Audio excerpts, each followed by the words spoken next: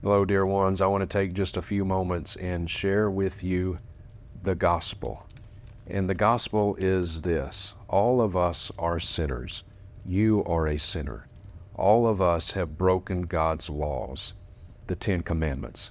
Thou shalt not lie. Every single one of us has told lies. And if you've told one lie, you are a liar. Thou shalt not steal. All of us have taken something that does not belong to us. Thou shalt not take the name of the Lord thy God in vain. All of us have used God's name in an irreverent way. And taking God's name in vain is not just saying OMG or some derivative of that. We take God's name in vain in word and in deed. Uh, thou shalt not commit adultery. But Jesus says if you look at a woman with lust, you've committed adultery already in your hearts. If you have ever looked at another person with lust, you're an adulterer. All of us have broken God's laws thousands of times over the courses of our lives. And just like when we break laws on earth, there's a penalty to be paid, how much more so when we break the laws of God? But because we have sinned against God who is eternal, the punishment of that sin is also eternal. And if we die in our sin, we will very rightly and very justly go to a very real place that the Bible calls hell, where the worm will not die, the fire will not be quenched. There will be wailing, weeping, gnashing of teeth. The full, undiluted fury of God's wrath will be poured out forever and ever, day and night, and it will never end. And there is no amount of good works that you and I can perform to overcome the debt that we owe to God, to overcome the debt that our sins have incurred. God is good, and because He is good, He must punish sin. If he did not punish sin, then he would not be good. Think of it in a courtroom setting. If someone has committed murder and that person is caught and the security cameras, you know, were rolling, they've got footage, all the evidence is there. This person committed murder. And he stands before the judge. He's been found guilty in a court of law. And the judge says, Well, sir, before I pass sentence on you, you've been found guilty for the act, for the crime of committing murder. Before I pass sentence on you, do you have anything for, do you have anything to say for yourself? What if you were to say, well, judge, you know, I think you're a good judge. And because you're good, I think you should let me go. After all, I've only committed one murder on one day. I've lived thousands and thousands of other days, never killed anybody, just this one person on this one day. So, you know, I think my good deeds outweigh my bad deeds. What if the judge were to say, Hmm. Well, I've never really thought about it that way. Uh, I am a good judge, and yeah, your good deeds outweigh your bad deeds. So I tell you what, I'll let you go. You're free. We'll see you later. Have a nice day. And that person walks out the door. Would that be a good judge? No, be a terrible judge, right? A good judge must punish crime. God is the ultimate good judge, and he must punish sin. If he did not punish sin, then he would not be good. But because we have sinned against God who is eternal, the punishment of that sin is also eternal. And, dear ones, there is no amount of good works that you can perform to overcome the debt that your sins have incurred to God. God is eternal, the punishment is also eternal. Our works, doing nice things, you know, for people, helping little old ladies across the street, philanthropic stuff like that, you know, in and of themselves, they are what they are, but they do not touch what we owe to God. Our works are as filthy rags before a thrice holy God. That's what God's word says in Isaiah chapter 64. Our works are as filthy rags. Lay your works down. They will not profit you anything. There is nothing that you can do to save yourself. You deserve hell. That's the bad news. But there is good news. And the good news of the gospel is this, is that God has made a way of escape. He has made a way for you to escape his own wrath. God sent his son, Jesus Christ, to this earth. And Jesus lived a perfect life. He was one person with two distinct natures, truly God, truly man. And as the God man, Jesus lived a life of perfect pleasure and satisfaction to God the Father. He never sinned. He never displeased the Father. He lived a life of perfection. And then Jesus willingly laid down his life on the cross. His life was not taken, he gave it. And on the cross, this perfect person offered his perfect life as a perfect sacrifice to perfectly satisfy the perfect wrath of God. Died on the cross, three days later, bodily raised from the dead, proving himself to be who he said he was God in human flesh. And if you will repent of sin, turn from sin, and place your trust in the risen Lord Jesus Christ and what he accomplished on the cross, you will be saved.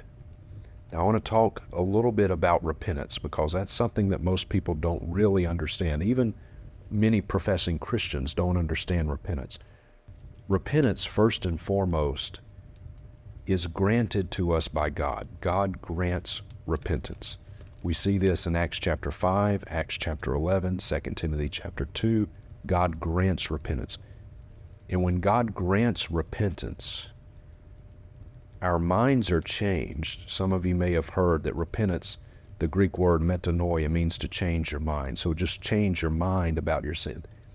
That's what the word itself means. But when you look at that word in the scriptures in its proper context, it does include a change of mind, but it's so much more than that. Because when God changes our minds, when our minds are changed by God, everything about us is changed. Our desires are changed. Our affections are changed. We begin to love what God loves and hate what God hates. If you are a true Christian, then you will have a desire for God. You will love God. You will love His Word. You'll have a desire to read and study the Word of God. You will have a new relationship with sin. The things that you used to love that were sinful, now you'll hate. The things that you used to hate that were holy, now you're going to love. You'll have new affections. The Bible speaks in 2 Corinthians chapter 7 about two different kinds of sorrow over sin. And I tell people, you know, if, if you doubt your salvation, whether or not you're a true Christian, spend some time in 2 Corinthians chapter 7 and understand the difference between a worldly and a godly sorrow over sin. Because the Apostle Paul says in 2 Corinthians 7 that a worldly sorrow leads to death, but a godly sorrow leads to repentance unto salvation. So, what is a worldly sorrow? A worldly sorrow is nothing more than a guilty conscience. What would happen to me if my sin were exposed? What would be the consequences to me? You know, what, what would people think of me if they knew what I was doing on the side? And what would people think of me if I was caught in in my lies? What, what would my spouse think of me if he or she knew who I was talking to on, you know, social media or texting uh, that I didn't want my spouse to know about? What would happen to me if my spouse knew what I was looking at on the computer? Things that I shouldn't be looking at. So we try to cover up our sin. Not because we grieve over it, but because we don't want the consequences of it. But if we could get away with it, ask yourself this question. If I could get away with my sin, if nobody would know about it, would I go right back to it? And if the answer to that question is yes, then that is a worldly sorrow, and a worldly sorrow leads to death. But then there's this other kind of sorrow over sin, and Paul says it's a godly sorrow.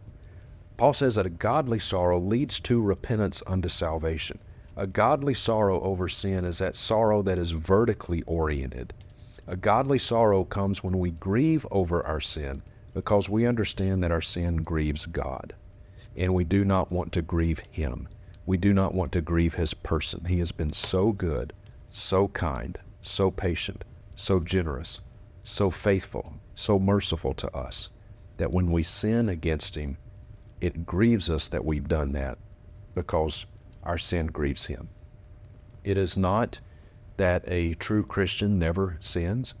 As Christians, uh, true Christians can and do sin, but here's the difference. A true Christian will stumble into sin, but he doesn't swim in it. He doesn't relish sin. He doesn't look for opportunities to sin. He doesn't plan out his sin. When we as Christians sin, it grieves us that we do. Does your sin grieve you? It is good and it is right to warn people to flee from hell. It is good and right to fear God, to fear hell. But just as much as we should want a Savior from hell, we should want a Savior from our sin. Does your sin grieve you? Not that you're perfect, but when you do sin, does it grieve you that you sin? If it does, that's good. That's good. That's one of the hallmarks of being a true Christian. But if you're not certain of where you are in your relationship with the Lord, Paul says in 2 Corinthians chapter 13 verse 5, examine yourself to see if you're in the faith. Do I have a love for God? Do I have a love for his word? Do I desire to grow in the grace and knowledge of the Lord Jesus Christ? Do I desire to grow in holiness? Do I desire to put to death the deeds of the body, as Paul describes in Romans chapter 8? Do I desire to, to have a decreasing pattern of sin? Is there a decreasing pattern of sin in my life in an increasing pattern in holiness? Do I have a love for the brethren? Do I have a love for fellow Christians, brothers and sisters in Christ? Do I love them? Do I love the church? Do I have a desire to fellowship with fellow believers, like minded believers in Christ in a local church? If you're a true Christian, you will have that desire. So ask yourself these questions. And if you're not certain of where you are in your relationship with the Lord Jesus, if you've never truly placed your faith in Him as Lord, then I would encourage you get real honest before Christ. Confess your sins to Him. Cry out to Him for forgiveness. Don't trust in yourself, trust in Him, in what He did on the cross, His finished work. And if you will come to Christ in a godly sorrow over your sin, desiring a Savior not only from hell, but also from sin, if you will come to Him empty handed, desiring Him and Him alone, He will save you. You will pass from death to life. The Bible says in 2 Corinthians chapter 5 that the old things will pass away, all things will be made new and there will be no condemnation upon you. If you will come to Christ, he will save you. He says, The one who comes to me, I will in no wise cast out. He will come to you, he will save you.